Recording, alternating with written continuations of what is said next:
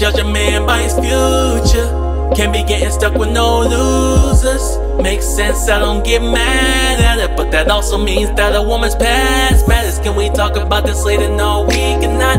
I'ma act the burning question to see this out. No guy wants his girl's rep to be she's a thought. Because a woman's past matters and it means a lot. I hope you know I'm never mudslinging, I am just saying. This topic can be frustrating, and you must say that, that a man's upgraded every time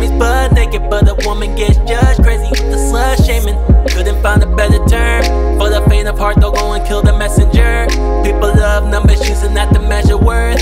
That alone is the realest thing I've ever heard. So I never tell the woman she's a father now with broke man. That would be the moment when I make no sense. On the other hand, when a man only approach tense, don't be looking at him like he's not thinking coaching. Cause there's no hot girl when it just cover season. So what she's doing in the summers for another reason. Girls wanna have fun, add BS. But there's more to the story. P.S. You gotta judge a man by his future. Can't be getting stuck with no losers. Makes sense, I don't get mad at it. But that also means that a woman's past matters. Can we talk about this later? No, we cannot.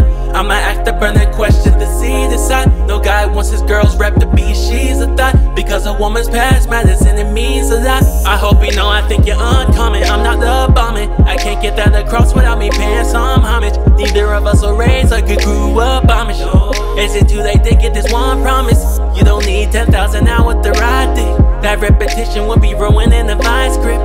This a one-time practice doesn't make perfect. It would be asinine expecting you to stay virgin. Double standards feel like you wearing a straight jacket. Damned if you don't and damned if it may happen. So baby, maximize the pros and go make in your nature to appeal to the male gaze. Fighting against biology, it is a fail safe. I have to fight the lust like it with jailbait. We're in a zero sum game with no stalemate. You gotta judge a man by his